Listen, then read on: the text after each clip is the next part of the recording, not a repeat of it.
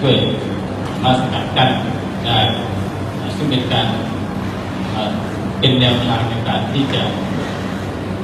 สืบสวนติดตามจับกลุ่มผู้ที่กระทำความผิดในลักษณะที่นี้อีกอีกเรื่องหนึ่งก็คือเรื่องของการจับกลุ่ม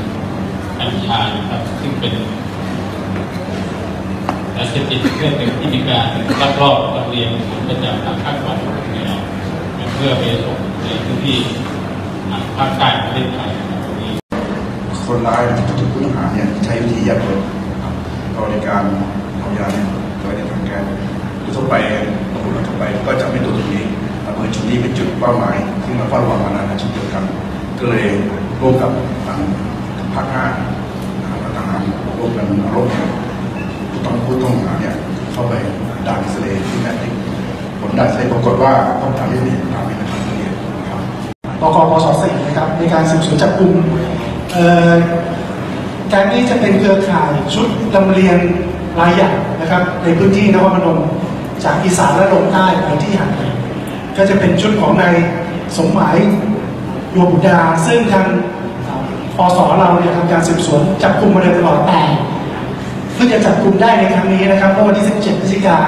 โดยในวันเกิดเหตุเราได้รับแจ้งจากสายนะครับ แจ้งว่าจะมีการลำเลียงกัญชาล็อตใหญ่นะครับจาก พื้นที่จังหวัดนครพนมลงไปในพื้นที่จังหวัดอ่ารีหาดใหญ่นะครับ เพื่อส่งมาเลโดยเอ่อจะมีนายสมหมายโยบุตราซึ่งเป็นตัวการสำคัญที่เราต้องการตัวเนี่ยออกมาด้วยนะครับก็ก็จากท่านกองทัพภาคที่สามตำรวจกองทัพภาคห้าปปสปมงเนี่ยเราก็ได้รวบรวมข้อมูลข่าวสารทั้งหลายแหล่เนี่ยจากของเก่าคดีของใหม่คดีเนี่ยนะก็เลยเป็นที่มาที่ไปในการจับกลุ่ม เพิ่มมากขึ้นทุกวันนี้นะครับแล้วก็เป็นที่น่าสังเกตในเรื่องของการขนของรถยนต์รถยาบ้านี่นะครับอันนี้จับเกิดทั้งตระกูลเลยนะครับเกือบทั้งหมดทั้งบ้านนะยังยังขาดตัวบุคคลอีกสักหนึ่งคนนั่นเองที่ที่ยังต้องจะพยายามจะพยายามต่อไปนะครับ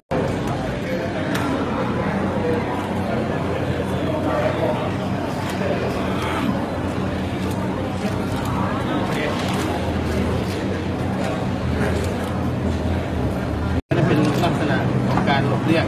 ใช้ปกปิดการหลบแบบนี้ถ้าสมมติว่าเอาเข้าเครื่องเลยนี่ตัวนี้